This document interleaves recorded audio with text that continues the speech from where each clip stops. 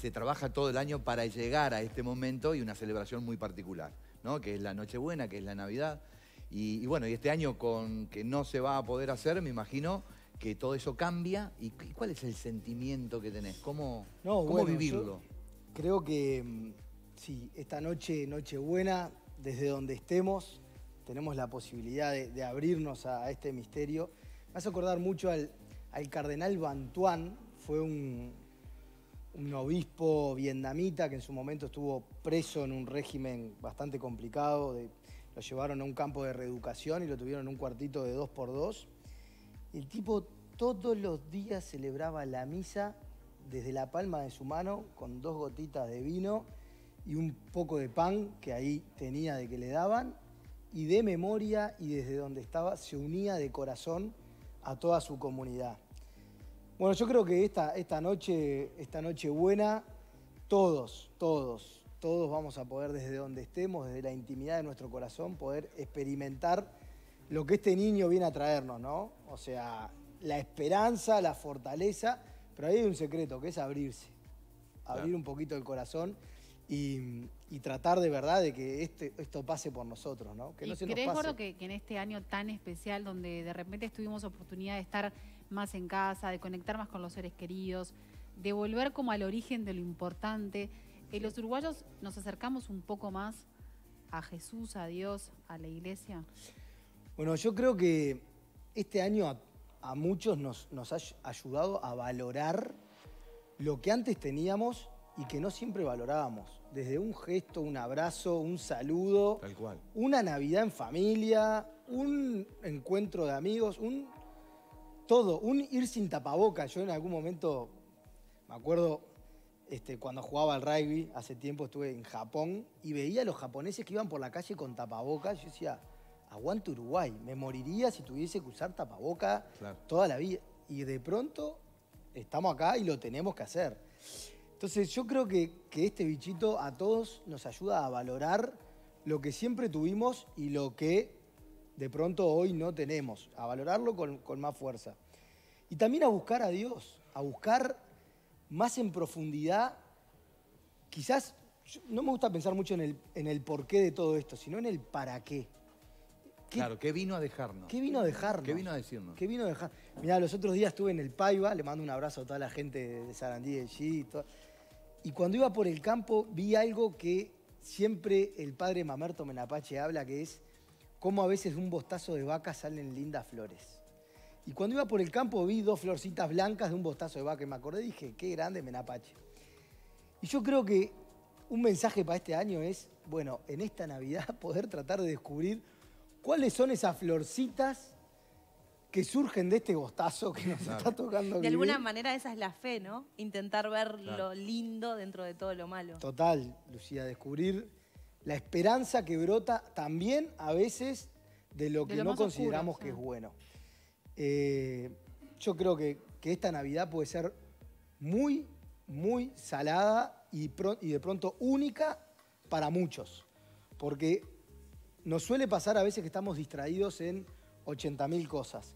Esta vez la situación nos lleva a estar más, entrar más en la intimidad de nuestro corazón, de nuestro hogar, de nuestra familia.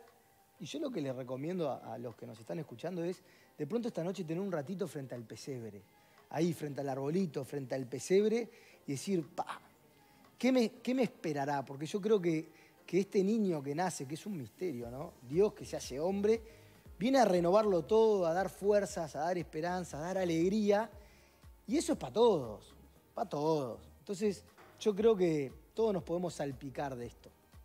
Se te ve emocionado, como, como nunca te había visto. O sea, como que tenés, me da la impresión que tenés la necesidad, más allá que no se puede, de en este momento, a través de las palabras, estar abrazando a mucha gente. Y lo que Eh, pasa, perdón. Gordo, no nos podemos olvidar que además en este año hay muchas familias de las más necesitadas que se vieron muy golpeadas y que la están pasando mal. Totalmente.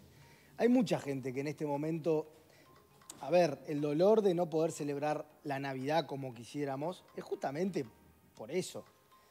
Pero porque hay gente que la está pasando triste, que está, yo pienso en todos los que están en los hospitales, en todos los que están luchando en primera línea con esto, en todos los que han perdido seres queridos. Yo contaba ahora el maquillaje.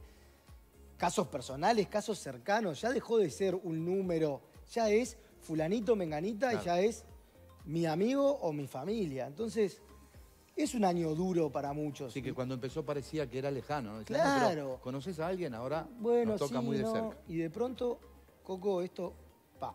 Entonces, la Navidad que viene a traernos esperanza, obviamente que la necesitamos.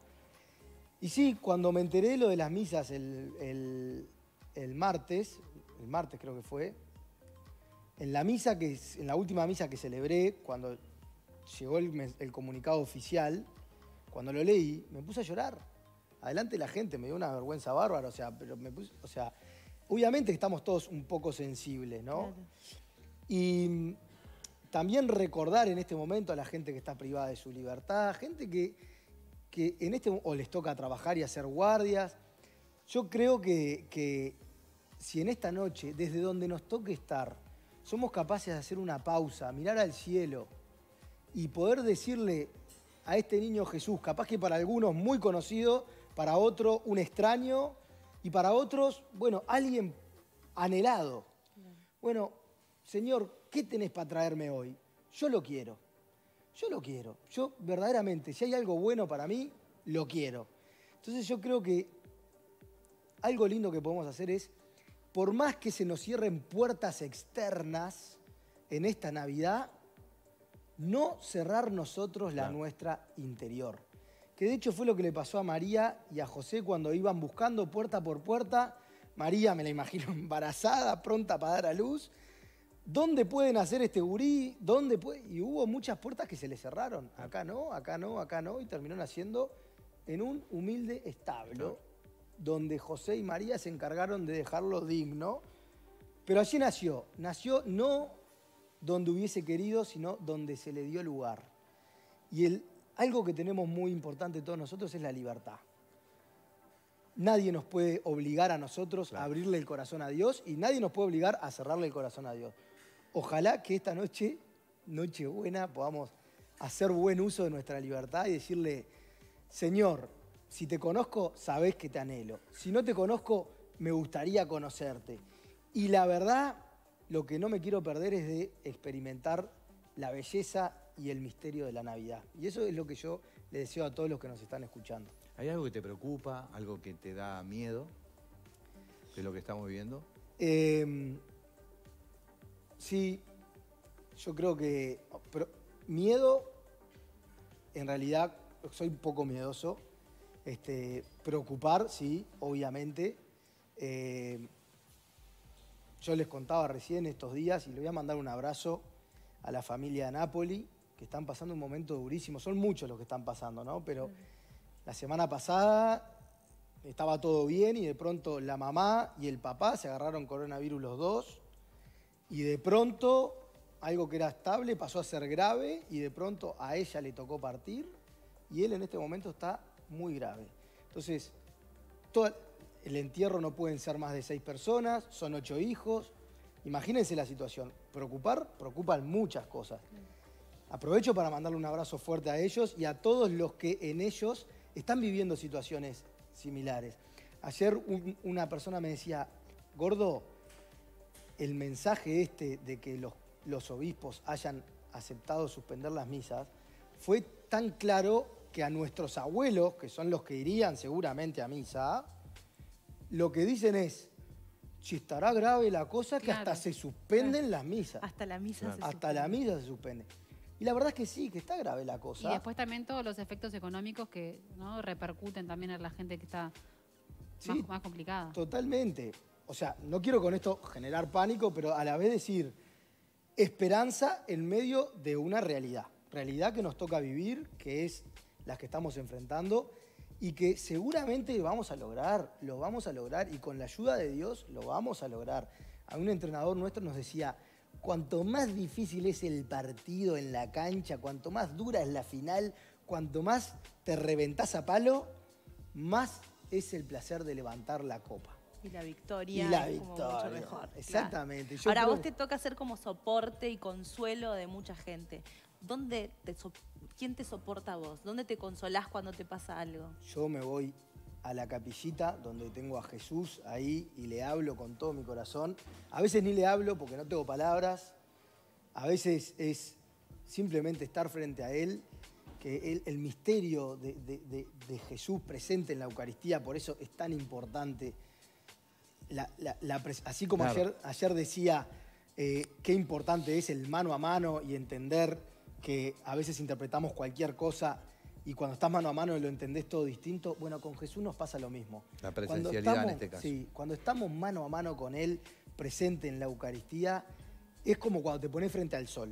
Por más que, por más que vos no sepas que te estás quemando, el sol te está quemando. Claro. Si no tenés protector, te achicharrás. Y con Jesús pasa lo mismo. Si vos estás frente a Él y te pones frente a Él, Él empieza a transformar de a poquito el corazón. Por más que no le hables, por más que vengas a protestarle, por más que vengas enojado, yo creo que es lo que tiene Él, ¿no? En su grandeza, en su luz. Y esa luz que hoy viene a cada uno de nosotros. Tuviste contacto con un positivo en un momento y decidiste, bueno, aislarte y empezar a, a- a través de las redes sociales a dar Sí. alguna charla y alguna misa. ¿Cómo fue eso? La verdad que Recién estábamos viendo imágenes de Sí, esto. fue, fue un éxito. Yo no, no. Este, yo creo que algo.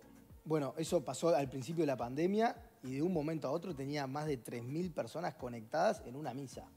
Nunca me hubiese imaginado. Después, obviamente, eh, me encantó. Muchos curas, muchas parroquias se pusieron a tiro con todo y entonces eso está bueno.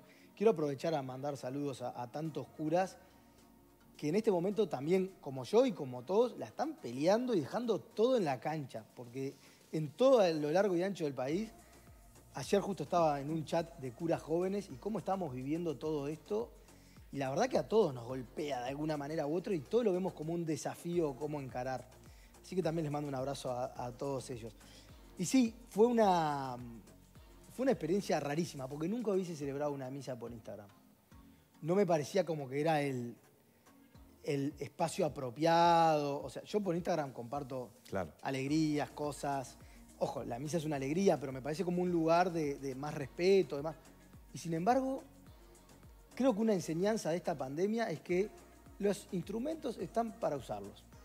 Por algo, los medios Claro, ¿Lo puedes usar bien o mal? Exactamente. Pero si la gente necesita Por que estés ahí. Totalmente. ¿Cómo, cómo, cómo fue aceptado por, por, por la iglesia esto? ¿Se dijeron Bien, algo? muy bien. Bueno, Porque también está eso que vos decís, se podía haber tomado para un lado o para el otro, ¿no? Sí, no, yo creo que la iglesia, uno de los golazos que ha metido, pero es que se ha este, Ayornado, como se dice, ¿no? Ponele- en los con- tiempos que vamos. el canal de la iglesia, las redes, los medios, o sea, es como que verdaderamente es un paso importante, ¿no? Que, que creo que a destacar, obviamente todos a crecer un montón, porque hay que aprender. Yo también tengo que aprender, yo soy muy... No, eh, a mí me Rústico, a "Gordo, veces". ¿quién te maneja la red? ¿Cómo quién me maneja la red? Soy yo. Yo ta, pongo y trato de responder y coso. Claro. Obviamente hay gente que me ayuda a veces cuando estoy muy saturado, pero claro, e- es, uno aprende a golpe y Claro. porrazo, ¿no? ¿Tenés pensado hacer algo de esto para hoy a la noche? Por supuesto, por supuesto. ¿Sí? Esta noche eh, va a salir la misa de Nochebuena por Instagram a las 19.30, a gordo.verde, va por Instagram, por YouTube y sale por Océano FM en vivo, porque nosotros teníamos pensado hacerlo de la automisa. Entonces ya Océano nos había apoyado junto a Portones Shopping, que lo quiero agradecer, porque de no haber sido por todo esto, este, pero bueno, quedará como para más adelante otras oportunidades. Pero quiero agradecerles porque la verdad que nos hayan abierto las puertas de esta manera, este, para una celebración tan importante, eh, fue algo verdaderamente navideño. Bueno, así que hoy sale 19.30 por Océano FM, por Instagram, a gordo.verde y por YouTube. ¿Cómo? ¿Repetí? ¿Dó- ¿Por dónde se puede ver? Gordo.verde, el, el Instagram. El, el Instagram tuyo, derecho. El a, la- Instagram a del las gordo. 7 de la tarde, 19 horas. Sí, eh, a las 7 arranca un poco la transmisión, 7 y media la Arranca misa. la misa.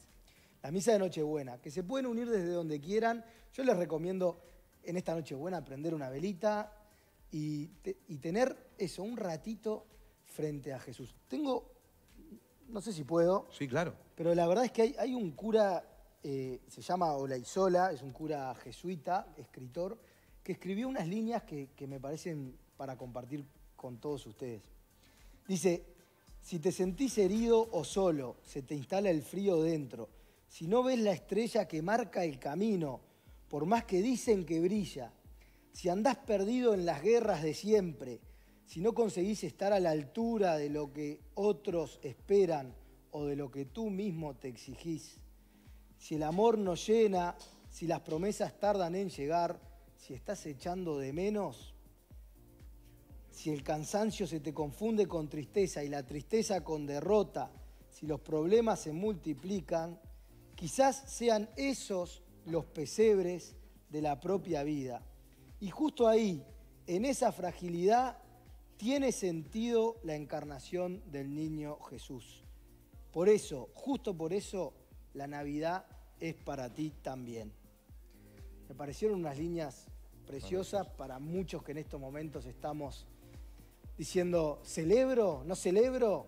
Ayer pasaba por el barrio, por la casa de, de Anastasia, que le mando un saludo allá del barrio de Santugenia, que es una mujer que ha hecho un trabajo impresionante con una olla popular, dándole de comer a todo el barrio. Gente, si hay que sacarse el sombrero este año, es por gente generosa desde los barrios, la vecina que iba a aportar un paquete de fideo, hasta las empresas que se han puesto, todos, todos, los medios ayudando a que esto cambie. Y esta mujer me decía, bueno, es- este año justo esta señora perdió a uno de sus hijos. Y me decía, ¿celebraré este año la Navidad? Es que claro, la Navidad también es para vos. Porque la esperanza la necesitamos todos. Y esta lucecita que quiere encenderse esta noche, ojalá que nadie nos las pueda quitar, nadie. Y eso está en cada uno de nosotros. Tal cual. Nos comunican que hoy a la medianoche se va a A pasar la. Santa Misa, este, así que bueno, va a ser otra oportunidad también para aquellos ¿Acá? Sí, a las 12. a las 12 ¡Qué de la noche, bueno! a la medianoche. La, eh, la de... Esturla. La de Sturla, qué bendición. Bueno, me alegro mucho. Así que hay dos opciones, a las 7 de la tarde ¿eh? O a las 12 de la noche la misa me parece muy bueno y más en esta situación también me parece un precioso gesto del canal. Gordo, siempre es un placer recibirte, ¿eh? siempre, en cualquier época del año. Pero bueno, en este Bueno. diciembre tan particular es... es Muchas gracias. Gracias a ustedes, de corazón, gracias a todos. Yo les traje una pavada, como para no perder la oportunidad, Ah. y es un rosarito que hicieron Qué las hermanas carmelitas. gracias. ¿eh? Uno para cada Qué uno. lindo. Gracias, gordo. Qué lindo. Tengo también uno para Marcel. Maravilla. Muchas allá ya- gracias. Recibir. Y, Muchas gracias. y tengo el de Cata. Porque entré a tu cocina A ver, ahí viene Cata, ahí viene y, Cata a y le recibirlo. comí. Ahí viene, vení. Y le Vení, comí Cata, los cosos. Y me Ahí quedo está. debiendo el de Mariana, Marian. Gracias, muchas gracias. Bueno, ojalá pudiera traerle a todos, ¿no? Gracias. Muchas gracias, muchas gracias. Bueno, que Dios Muchas los bendiga gracias. mucho. Aprovecho para darle la bendición a la gente que está acá, Por si les parece. A todos que Dios los bendiga, que tengan una muy feliz Navidad, especialmente los que están pasando momentos más difíciles, tanto en, en los hospitales, en sus casas o donde les toque estar, y a los que están privados de su libertad también. Y a todos, que Dios los bendiga, los proteja y les llene el corazón de alegría y de paz. En el nombre del Padre, del Hijo y del Espíritu Santo. Amén. Es lo más lindo que puedo hacer como cura, así que feliz Navidad. Feliz Muchísimas Navidad. gracias. Señores, placer enorme, pero te invitamos a que te quedes porque tenemos un villancico. Un villancico especial. Ahí está. Muy especial, muy especial los porque duendecitos, los duendecitos. hasta, hasta, lo- hasta, los, hasta los duendecitos son especiales en esta Navidad. Va